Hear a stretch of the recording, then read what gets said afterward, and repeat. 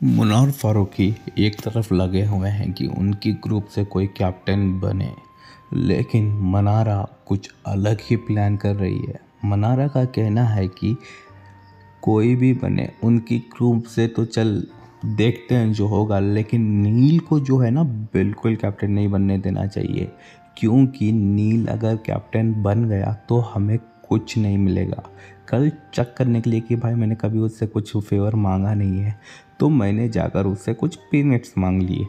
तो उसने बोला कि पीनेट्स दूँगा, लेकिन उधारी पर, यानी कि उधार दिया है। जितने पीनेट्स उसने दिए हैं, उतने पीनेट्स जो है मनारा को उसको वापस देने पड़ेंगे। जो कि मनारा काफ़ी ज़्यादा शौक हो गई थोड़े पीनेट्स मैंने मांगे, वो भी उसने बोला लैंड दे रहा हूँ, यानी कि जो उधार है वो दे रहा हूँ।